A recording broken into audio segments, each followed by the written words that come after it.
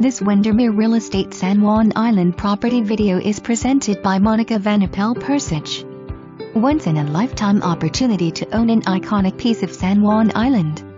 Operated as a resort since the 1940s, this unique property, totaling over 12 acres in two tax parcels, has the makings to create an incredible private waterfront estate or continue as a resort sited on the edge of 734 plus slash FT of Low Bank waterfront, overlooking its own expansive private gravel beach west adult permitted for 100 feet float, there are 5 cabins, studio apt, boathouse west living quarters, 2-bed caretaker home and more.